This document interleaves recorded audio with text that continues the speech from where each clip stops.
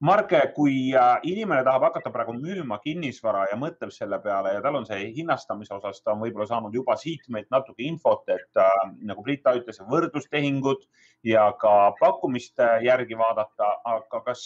kas müüja peab tellima eksperthinnangu või tegelikult piisab müügi alustamiseks maakleri arvamusest? mina ei ole soovitanud tellida, tellida eksperthinnangut et äh, nendel on oma tähtajad, millal nad aeguvad. et äh, pigem äh, kiiremini saab selle hinna teada ikkagi maakleri arvamusest. ja noh, meie maaklerid kõik teevad väga põhjaliku töö hinnastamise osas ja kui tekib endal nagu mingit kahtlust, siis üldjuhul on meil alati kombeks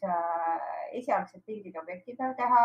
siis kogu, ütleme, võtame tiimi kokku, arutame läbi, küsime hindajatelt, nii saame kiiremini selle hinna paika ja, ja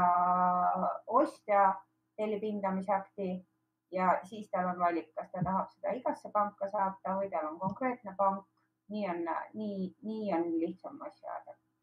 ehk siis ostu, ütleme siis seda ostja vajab tegelikult ennekõike eksperthinnangut ja kui müüja vajab täna äh, hinna määramist oma äh, ütleme kodule või, või ärikodule, siis tegelikult maakleri arvamus, kes teeb siis seda nii pakkumiste kui tehingupõhiselt äh, sellise analüüsi, mida võib nii Britalt kui Margelt ka tellida, et kui sul on täna objekt, mida sa tahad müüma hakata ja mõtled, et mis see maksaks, siis kindlasti Brita ja Marge on nõus teid selles osas aitama